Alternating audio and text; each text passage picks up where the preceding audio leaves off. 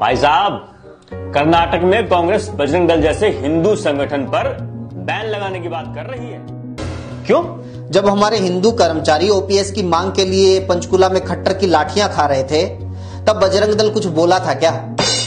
जब हमारे हिंदू युवा नौकरी की मांग के लिए सड़कों पर पिट रहे थे, तब बजरंग दल कुछ बोला था क्या?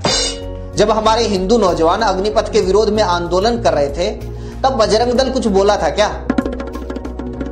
जब नौकरियों में धांधली पेपर लीक जैसे मुद्दों पर हिंदू विद्यार्थी धरना प्रदर्शन कर रहे थे, तब बजरंग दल कुछ बोला था क्या?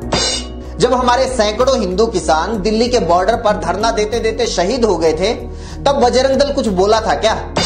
जब हमारे हिंदू भाई बहनों के लाखों करोड़ रुपए लेकर ललित मोदी, नीरव मोदी, मेहुल चौकसी, विजय माल्या जैसे चोर भाग गए थे, तब बजरंग दल कुछ बोला था क्या?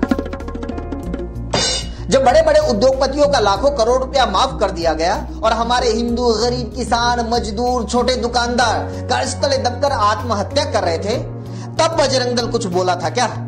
जब करोड़ों हिंदुओं की जमा पूंजी अपने मित्र अडानी को बचाने के लिए उसको सौंप दी गई थी, तब बजरंग दल कुछ बोला था क्या?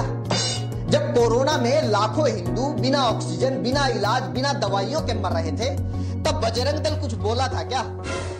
जब कर्नाटक में हिंदुओं से 40 परसेंट कमीशन मांगा जा रहा था तब था